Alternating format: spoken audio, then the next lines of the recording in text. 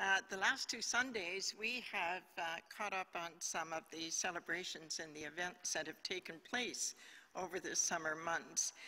Uh, it was such great fun to see you all, and I think you all have that same feeling when you look at the pictures that Gary has uh, uh, put up on our live stream.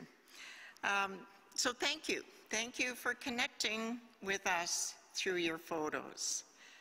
Jackie has announced with absolute joy and enthusiasm, can we see that picture again of baby William and Emily? Now look at that. Certainly, uh, Connie and Ewan are just absolutely full of joy and thanksgiving, and we truly do rejoice with them. Isn't that precious? We had a celebration this week, uh, Friday Friends, because they're not all knitters. They're people who just want to gather there on Friday at around noon uh, at Tannery Park. And this Friday, I joined them and was really surprised because we had cake. And we had cake to celebrate Mary's birthday. so that was really very special.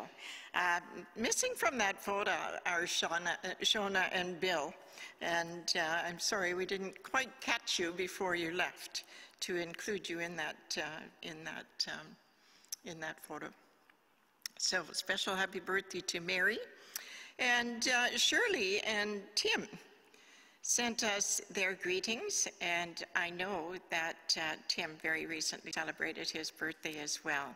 So our greetings back to you, and thank you for sharing this great photo with us. Jan and I, as Jackie said, do have our birthdays, and we're going to do something special. We are actually leaving and going away for a lovely little getaway this week, and uh, uh, really looking forward to it. So, um, our Knox volunteers have dedicated countless hours uh, of their time to the service of God and to our community and to our church family. Uh, they have made it really fun and uh, very rewarding. They find it very rewarding. Uh, if you enjoy blessings and would like to have some fun in your life, join one of the existing volunteer teams or volunteer to do something that suits you. Whatever your age, little ones, seniors, and everyone in between, there is a way that you can show you care, whether it's in uh, drawing pictures for people who are not feeling so well, uh, whether it's friendly phone calls, driving to appointments, uh, even just praying in your own home, uh, cleaning, baking, making soup, being, becoming a friend to a stranger. Uh, you know, sending encouraging cards. There are many ways, and with winter approaching, keeping sidewalks clear, uh, we have requests that are coming in from our community as well as uh, needs that we have here within our church community. We can get you connected, so let us know. Canada's National Day of Truth and Reconciliation is September the 30th this week. It is a day to recognize and to remember the tragic and the painful history and the continuing continuing, pardon me, devastating uh, impact of the residential schools. The Presbyterian Church in Canada operated 11 residential schools as part of a, an organized project of colonization and assimilation of the federal government, a true and terrible part of our history. Uh, last week, uh, we were asked to wear orange and um, just to remember what these children went through. And it is really important to read up on how all of the things that they lost during those years uh, and, and, have lost up in, well, generations. It wasn't just years. Uh, last Thursday, I attended a virtual evening hosted by Glen Abbey United Church Speakers Series.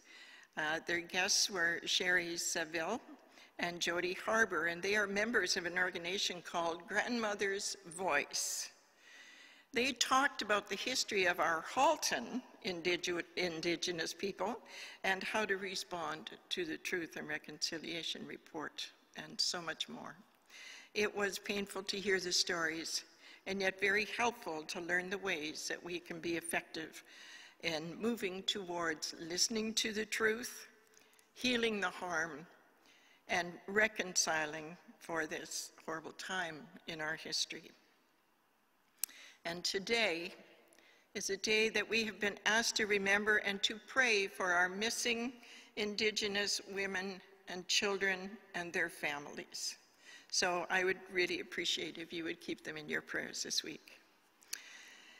We are aware of three of our people who are in hospital at this time, Marion and two of our Margarets.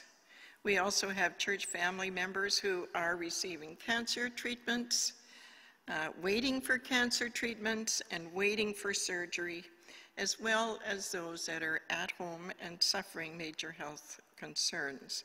So please, please pray for those who are in a hard time in their lives.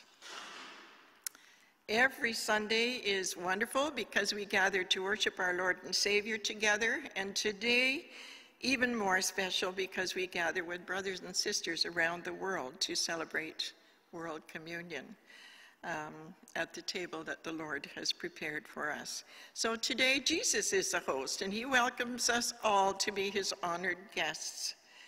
Uh, so take time to prepare for this, to sit, to listen, and to deepen our faith so that we can serve others in the way that he serves us.